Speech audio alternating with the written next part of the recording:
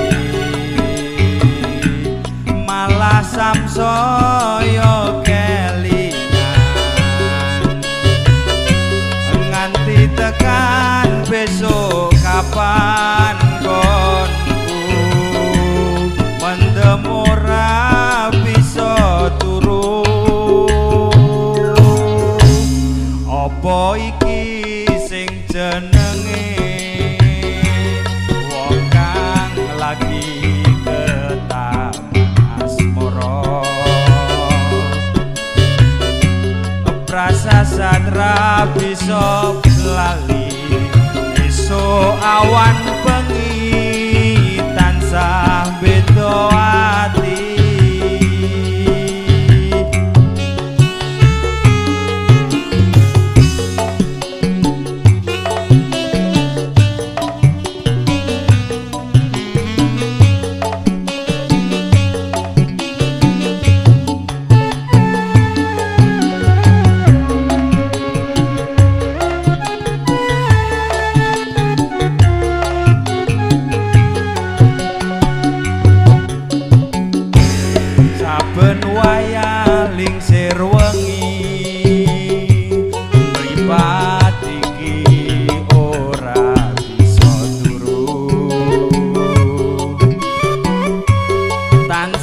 kelingan.